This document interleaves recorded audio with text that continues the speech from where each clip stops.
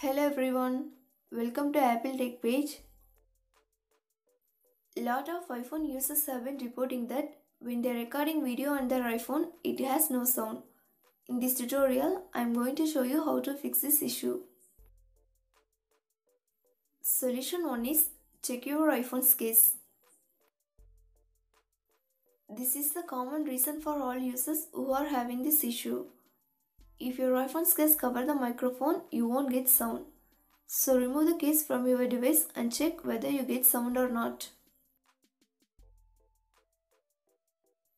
Solution 2 is clean your microphone. If debris or dust in your microphone, it may cause this issue. So clean your microphone, use a new toothbrush. Solution 3 is check volume level. Make sure that you have set up full volume. Sometimes we forget to increase the volume level while playing the video. That's why we won't hear any sound from the video. To check that, press the volume up button to increase the volume level. Solution 4 is restart your iPhone. Tap on settings icon. Next, tap on general. Now scroll down the screen to bottom and tap on shutdown. Then turn off your device by dragging the slide to power off slider. Wait for a few seconds and turn it on back.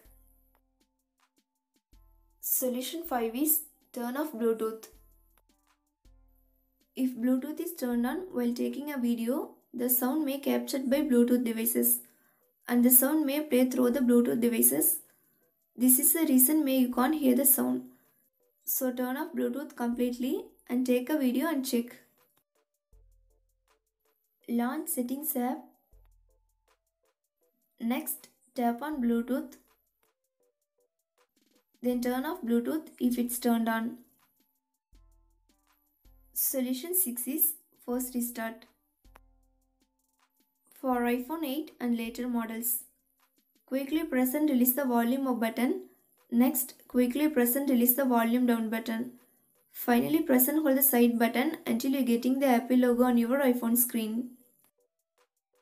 For iPhone 7 or 7 Plus, press and hold the sleep or wake button and volume down button at the same time until you see the Apple logo.